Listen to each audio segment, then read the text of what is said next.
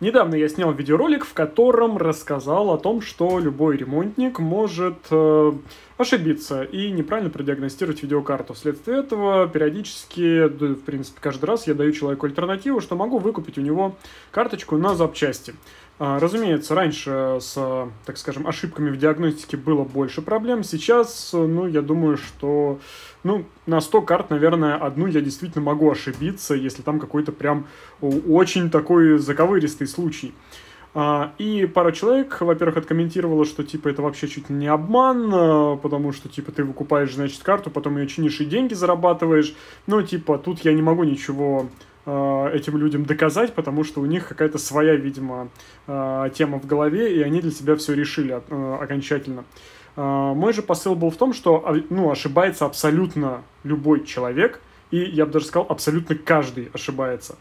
Вопрос в том, насколько часто. Но сегодня немножко не про это. А, также мой э, э, товарищ э, Эндрю сказал, что я ломаю, так скажем, эм, идеальный портрет ремонтника, рассказывая подобное, допустим. Но я, опять же, снимаю на второй канал такие вот лайв-бложеские видосики, чисто, чтобы без приукрас показывать, как оно все на самом деле происходит. Вот. И сегодня как раз-таки хочу немножечко наоборот, обратную сторону медали рассказать. А что бывает, если мягко говоря, клиент хочет либо не хочет сыграть в русскую рулетку. О чем я? Вот, допустим, как раз-таки классический случай. А, присылает мне человек видеокарточку 1070 полит после а, сервисного центра. Причем они его там промурыжили достаточно долго, сказали сначала чипы памяти, потом еще что-то, потом вернули чипы памяти родные обратно. Короче, история весьма и весьма плачевная. А, впоследствии он мне написал, что Виктор, так-то и так, давайте я вам ее отправлю. Я говорю, ну, типа, базара ноль, давайте.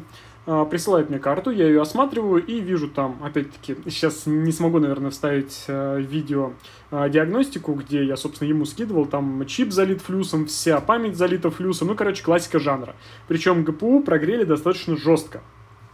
И я человеку объясняю. И, в принципе, я советую подобной практикой, э, точнее, подобную тему практиковать э, адекватным ремонтникам. Я человеку объясняю. Смотрите, у нас есть выход. Первый. Мы берем, меняем только сбойные чипы памяти, а чтобы вы понимали, мац там выглядел примерно таким вот образом. Это вот изначальный мац. Потом я ему сказал, давайте, э, дабы отсеять проблемы с контроллером памяти, я поменяю хотя бы один чип. Если ошибки уйдут, то, соответственно, в принципе, есть э, возможность починить э, видеокарту. То есть чип, скорее всего, жив, нежели мертв. Я заменил один чип, и, соответственно, да, действительно, ошибки по А0 ушли. А после чего я ему говорю, смотрите, все равно есть некоторая доля... Э, фарта, не фарта, вот этой вот как раз-таки пресловутой рулетки, потому что я могу сейчас заменить чипы памяти, э, возьму деньги в любом случае за работу и за расходники, то есть проделаю э, работу э, какую-то конкретную потрачу время, за нее я хочу получить деньги. Но в конечном итоге из-за того, что прогревали ГПУ, может еще оказаться, что видеочип мертв. И вот у нас стала с человеком, так скажем, дилемма перед нами – с одной стороны, я не хочу делать работу за бесплатно и тратить кучу времени. С другой стороны, человек хочет ее починить. Но опять-таки здесь есть фактор того, что я устраню один дефект первичный, который не дает карточке а, стартовать, а именно связанный с видеопамятью а впоследствии могут вылезти еще косяки. И это тот самый момент, когда вот такие м, ремонты после чужих рук ты не можешь спрогнозировать наверняка, какой бы у тебя скилл не был. То есть э, раньше, допустим, я делал как? Я брал и реально менял всю видеопамять для диагностики, перекатывал ГПУ и прочее, а потом уже человеку говорил, смотрите, да, я ее смог починить, с вас столько-то денег. Если э, ГПУ оказался мертвый, то, соответственно, я ничего не получал и брал 700 рублей за диагностику при условии, что мне надо было вернуть все, по сути, в первоначальный вид сами понимаете, ты тратишь иногда там полдня, день на это все дело и зарабатываешь 700 рублей, если ГПУ остался мертв. Когда э, начались вот эти вот приколюхи с кучей заказов, я понял, что, ну, я просто-напросто не могу тратить на это время, и каждому клиенту я всегда начал предоставлять выбор и говорить все возможные камни. И поверьте мне, количество геморройных ремонтов увелич... Э, фу, увеличилось, уменьшилось просто в разы. А, как минимум, сейчас даже несколько могу вам рассказать. И все эти геморройные ремонты, как правило, связаны с тем, что э, техника побывала в руках других ремонтников, и я человеку объясняю, я могу сейчас устранить первопричину, но насколько работоспособны остальные узлы, допустим, там процессор, ГПУ, пока я не устраню первопричину, я сказать не могу. Замеры, никакие здесь сопротивления вам э, наверняка этого не скажут. И люди начали действительно отказываться, оставлять на запчасти, либо просто забирать технику, а я перестал тратить свое время. И вот в данном случае как раз-таки человек долго, так скажем, сомневался, ну, потому что я понимаю, карта сейчас стоит, допустим, 10, 70, 35 тысяч рублей, и э, просто-напросто потерять эти деньги, ну, как-то не хотелось. А я ему сказал, что замена всей э, видеопамяти будет стоить что-то типа там 16 или 18 тысяч рублей. Ну, то есть расходники плюс работа плюс гарантия. И у него был выбор либо поменять видеопамять, попасть на 18 тонн и по итогу получить э, живую карту, или наоборот, карту с мертвым ГПУ, предположим.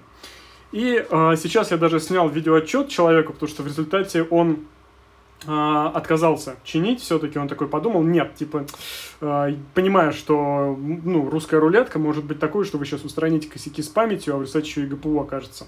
Я такой, ну, да, я вас понимаю. В результате я выкупил эту карточку на запчасти. Видеопамять там вся сразу под замену была, и мне как раз-таки ради ролика стало интересно, а угадал человек или нет? Может быть, карта полностью рабочая, и я сейчас э, за 5000 рублей, чтобы вы понимали, купил полностью работоспособную 1070. И, как можете видеть, карта начала определяться. Только, блин, с 43-й ошибкой, не перепрошивки биоса, ничего не дают никакого а, результата. ГПУ ужарен настолько, что просто-напросто, ну, он сдох.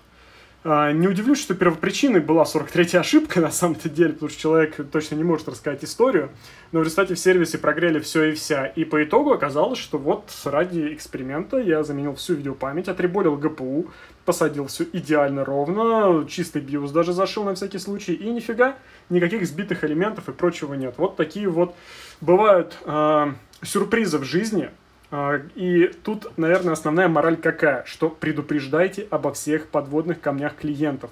Потому что только так, если вы не будете ничего утаивать, вы сможете выйти, во-первых, сухим из воды, в плане того, что не потратите кучу времени на жмура.